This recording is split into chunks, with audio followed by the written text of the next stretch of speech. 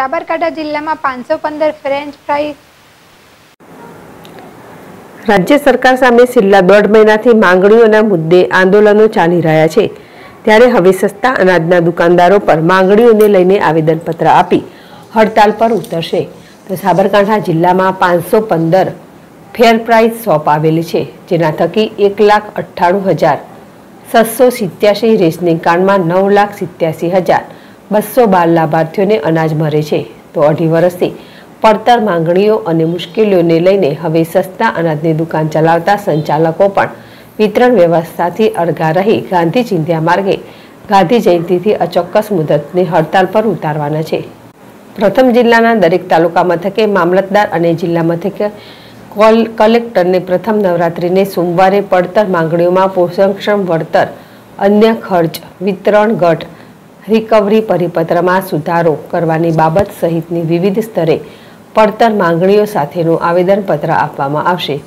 તો જો તાલુકા પ્રમાણે જોઈએ તો ખેડબ્રહ્મા ચોપ્પન, વિજયનગર ચાલીસ, વડાલી ચાલીસ, ઈડર એકસો ચાર, હિંમતનગર એકસો ત્રેવીસ, પ્રાંતિજ અઠ્ઠાવન, તલોદ છપ્પન, પુશીનામાં ચાલીસ ફેર પ્રાઇસ સોંપાવેલી છે.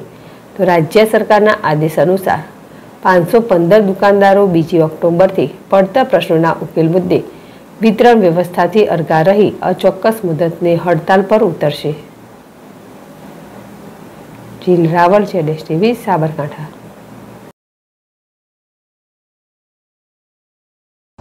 અનાજની દુકાનવાળા હડતાલ પાડવાના કારણ શું છે અને ક્યારે પાડવાના છે અને કઈ માગણીઓ લઈને પાડવાના છે? સાબરકાંઠાની અંદર પાંચસો ને પંદર અમારી વ્યાજ વિભાગની દુકાનો આવેલી છે.